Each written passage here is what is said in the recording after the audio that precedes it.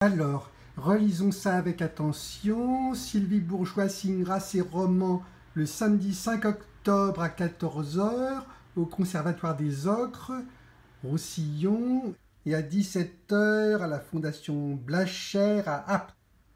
Bien. Sylvie, ça y est, hein, j'ai terminé ton affiche, on va pouvoir l'envoyer chez l'imprimeur. Ma très chère Laetitia, ce mois-ci, après la conférence et la table ronde que nous avons donnée Sylvie et moi au festival Science et Fiction qui se déroulait dans le Luberon, nous sommes allés rendre visite à notre ami Yves Rousséroir qui a créé un magnifique jardin botanique dans son domaine viticole de la citadelle à Ménherbe.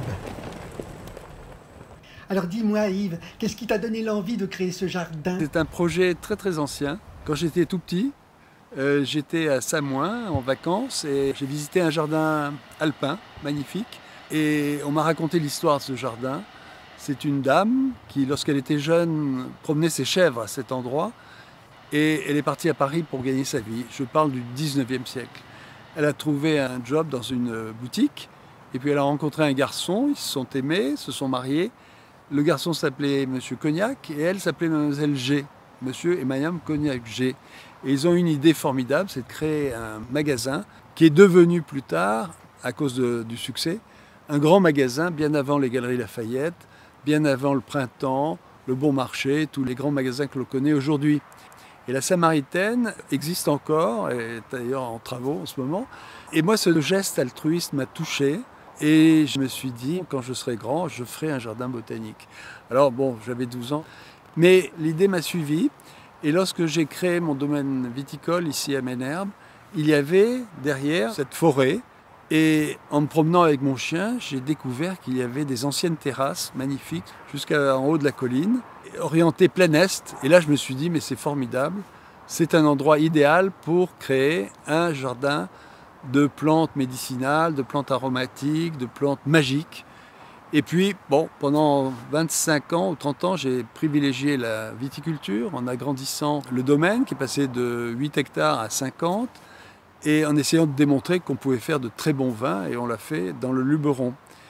Et puis il y a 4 ans, 4 ou 5 ans, euh, je me suis dit il faut que je me lance. Alors ma femme m'a dit Oh mais tu n'y connais rien et je me suis inscrit au Jardin des Plantes à Paris pour prendre des cours. Et j'ai fini mon dernier cours cette année euh, j'ai reçu un beau diplôme, diplôme d'assiduité.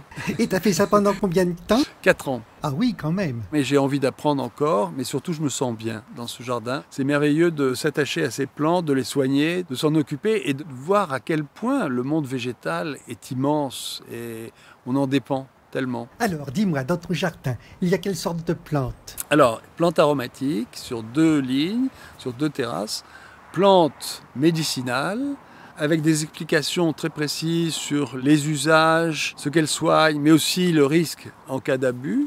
Les plantes sauvages mais comestibles, c'est-à-dire ces plantes qu'on trouve au bord des chemins, dans la campagne auxquelles on ne fait pas toujours attention, mais qui ont nourri l'humanité pendant des siècles et qui aujourd'hui sont redécouvertes parfois par des chefs, des grands chefs.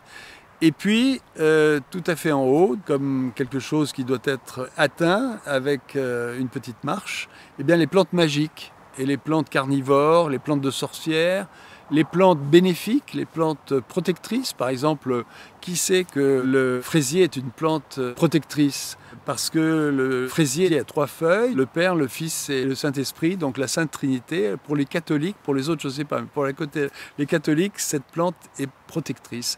Naturellement, le, le thym, euh, la bourrache, qui est une plante euh, intéressante, elle était considérée comme une plante aphrodisiaque au Moyen Âge, mais il y a des plantes de sorcières étonnantes, que, par exemple une plante qui a le goût d'huître, une autre qui a le goût de champignon, dont on, fait, on peut faire des sauces, euh, la plante qui danse, mais là il faut mettre de la musique. Voilà, des choses qui peuvent surprendre et amuser les gens. Par exemple la queue de lion, qui est une plante d'Afrique du Sud, et qui a une particularité, en dehors du fait que les gens fument les feuilles de cette plante, et peuvent être enivrés complètement, c'est que la tige passe au milieu des fleurs.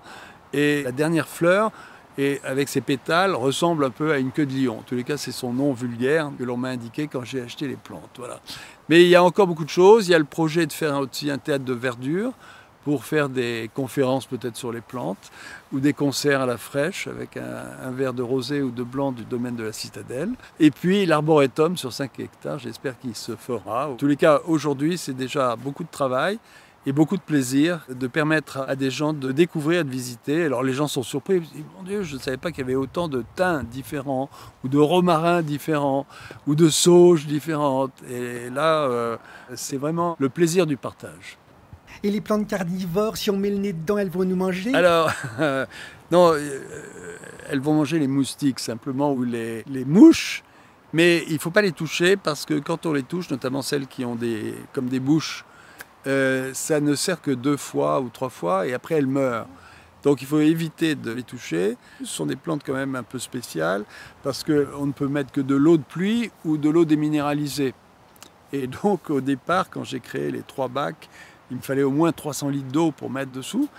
Et j'ai su aller au supermarché pour acheter de l'eau déminéralisée. Quand j'ai payé, la caissière m'a dit Oh là là, monsieur, vous avez beaucoup de repassage. j'ai dit Non, c'est pour mes plantes carnivores. Quoi? Et donc, elle était un peu surprise. Mais euh, les gens aiment beaucoup ça et elles sont belles. Voilà, les plantes carnivores, celles-là sont superbes. Ah oui, en effet, très belles. Voilà, en quelque sorte, euh, l'histoire de ce jardin. Euh, c'est pas fini. J'étais la semaine dernière en Pays de Galles. J'ai visité un jardin qui avait été créé en 1740. Et je me suis dit, mais le type qui a créé ce jardin en 1740, s'il voyait les arbres qui sont dans son jardin aujourd'hui, dans son arboretum, mais il serait fou de joie. Et je pense qu'il l'a imaginé. Et au fond, je travaille pour dans 150 ans ou 200 ans. J'espère que dans 200 ans, des gens qui visiteront ce jardin et l'arboretum prendront du plaisir et se diront, mais qui est le type qui a créé ce jardin il y a 150 ans? Comment pouvait-il imaginer ce que ça deviendrait? Ben Moi, je l'imagine parfaitement parce qu'il y a une vue magnifique sur les monts du Vaucluse, sur le Petit Luberon, le Grand Luberon, sur le village de Ménère, mais sur le mont Ventoux surtout, qu'on appelle le géant de Provence. Et je pense que les gens qui viennent aujourd'hui ont déjà du plaisir. Ceux qui viendront dans 150 ans en auront probablement davantage.